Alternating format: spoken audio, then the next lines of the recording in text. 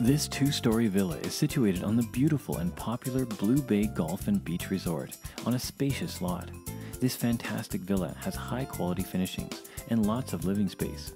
On the first floor, you will find a large living room that opens up to a large covered porch, dining room, kitchen, and laundry room. Also on this level are two bedrooms with ensuite bathrooms and a guest half bathroom. A beautiful staircase leads to the second floor, which has another three bedrooms, each with their own private bathrooms. The villa is currently under construction.